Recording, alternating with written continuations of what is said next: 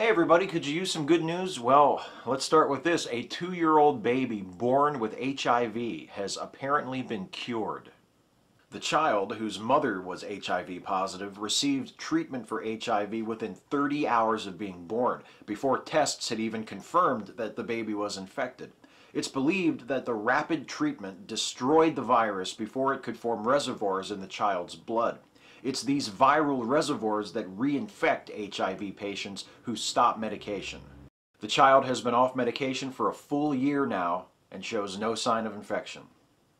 Next, Dennis Tito, who made headlines in 2001 as the first paying space tourist, has announced plans to mount a privately funded manned mission to Mars in the year 2018.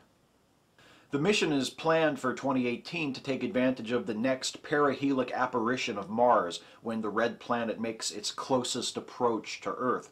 Tito's group, Inspiration Mars, hopes to send a two-person crew consisting of a male-female married couple on a 500-day voyage to Mars and back. The Inspiration Mars mission would just be a flyby, not a landing, and it would cost over a billion dollars. Tito's group is currently seeking funding, so if you happen to have a spare billion just lying around. Finally, a new study shows that playing video games can improve the reading skills of children with dyslexia.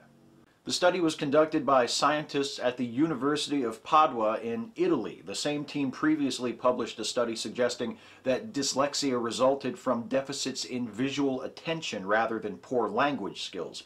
This new study finds that playing action video games apparently improves the ability of dyslexic children to identify and extract relevant visual information. Some subjects of the study showed more improvement after 12 hours of video game playing than would be typically expected after a full year of traditional reading treatment. The study's lead authors stressed that these findings might provide the foundation for a newer, more effective dyslexia treatment, but that they cannot recommend uncontrolled, unsupervised video game playing for children. Doctors cure a baby born infected with HIV. A private foundation announces an ambitious manned mission to Mars.